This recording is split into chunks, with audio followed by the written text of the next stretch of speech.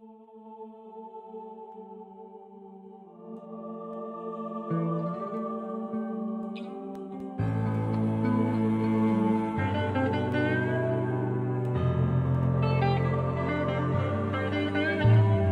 are no chains to weigh us down. Presently, we are free to live our lives. Land beauty found, our country's gifts abound. Why are we free? Why are we free?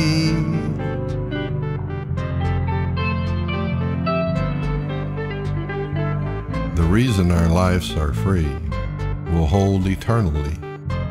When we were very young, our elders told of war and what they had seen. Survival was not easy. But still they fought to keep us free. Though you may now disagree, what they had to bear they really had no option. Imagine if you lived these times with demons fast approaching. The peaceful life you're living now, suddenly through threats, revoked.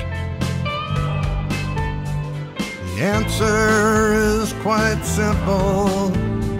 We all know this very well. When pushed into a corner,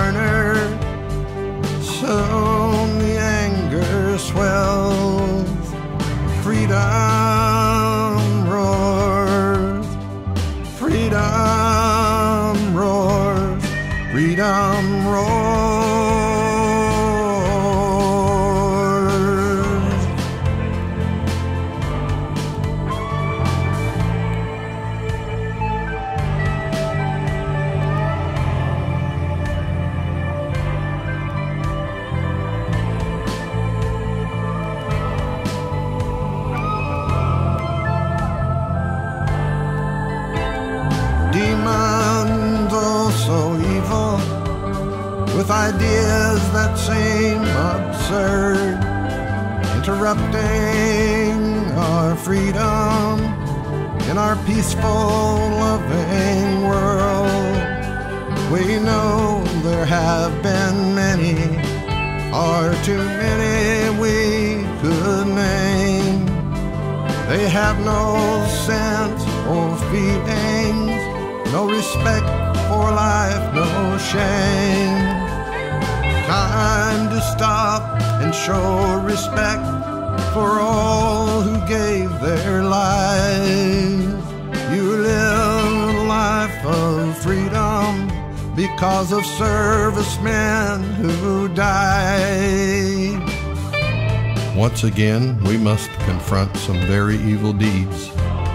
We hope and pray that decisions made will keep us safe and free.